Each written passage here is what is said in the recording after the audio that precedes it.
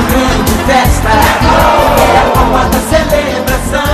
A terceira regional da Copa Coamo de Cooperados Futebol Suíço aconteceu dia 23 de maio nos campos do Paraná e Santa Catarina. Muitos gols, grande público e a alegria dos atletas e familiares fizeram o sucesso do evento nas regiões Sul e Centro-Sul. Confira os campeões regionais. Por Candói, Guarapuava e Pinhão, equipe Rio Novo Ar. Por Cantagalo e Goiexim, equipe Vista Alegre. Por Mangueirinha e Palmas, equipe Araucariá. Por Coronel Vivida, equipe Honório Serpa 1. Por Abelardo Luz, equipe Três Linhas. E por São Domingos, Nova Arvorezinha. Participação dos cooperados na Copa Coamo da Regional Sul e Centro-Sul é de grande valia.